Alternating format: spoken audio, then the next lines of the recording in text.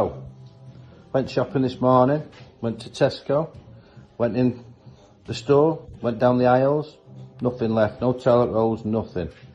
Walked back outside, saw loads of people with loads of food in the shopping trolleys, couldn't believe it.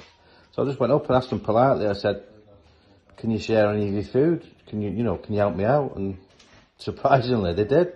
I've got toilet rolls, um, pasta, headache tablets, bacon, some luxury coconut oil wipes and some bread. Fantastic, could not believe it.